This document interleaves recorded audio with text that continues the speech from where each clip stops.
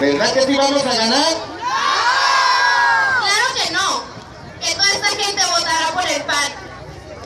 Acabo que aquí tengo una maletita y voy por otra que no encuentro.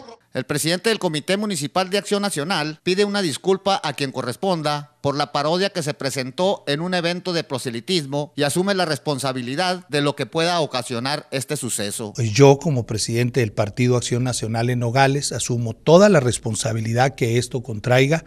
No tengo la menor duda que violamos uno de nuestros principales eh, valores, como es el respeto a, la persona humana, el respeto, el valor de la persona humana, y como quiera que sea, este, no vamos a ponernos nosotros en el plano corriente de hacer una política eh, corriente y vulgar como la están haciendo otros partidos, donde dejemos de manifiesto la falta de valores morales porque precisamente a la sociedad de Nogales a la que nosotros nos debemos, debemos hacerle llegar que en el Partido Acción Nacional el mensaje es claro.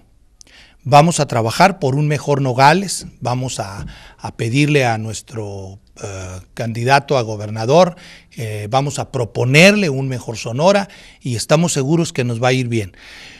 Asumo pues la responsabilidad que tengo como presidente municipal del PAN y enteramente me hago responsable de lo que suceda. El político panista hace un llamado al candidato a la presidencia municipal por el PRI para que brinde una disculpa ante los acontecimientos que se registraron la tarde de ayer en el puente Caribbean.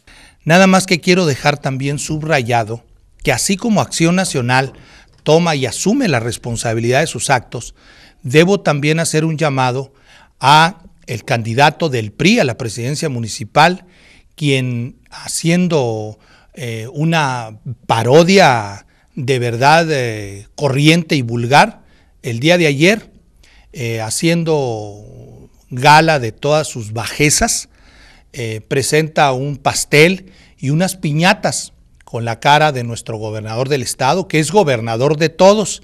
Nosotros en Nogales respetamos a nuestro presidente municipal, el licenciado Ramón Guzmán Muñoz, no porque sea el mejor presidente del mundo, sino que institucionalmente hablando es nuestro presidente y le debemos respeto. Igual respetamos al presidente de la República, el licenciado Peña Nieto, porque es el presidente de todos los mexicanos.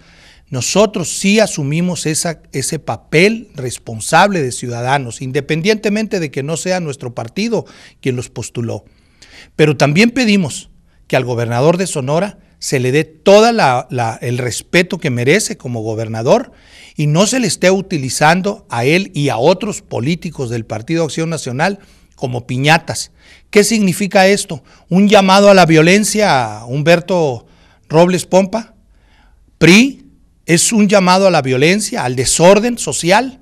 ¿Es así como propones tú manejar a nuestra ciudad de Nogales en búsqueda de qué?